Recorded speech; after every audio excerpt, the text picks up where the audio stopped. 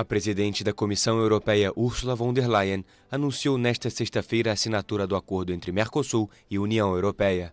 A iniciativa vai criar um mercado comum de mais de 700 milhões de pessoas. O PIB dos dois blocos juntos representa 22,3 trilhões de dólares.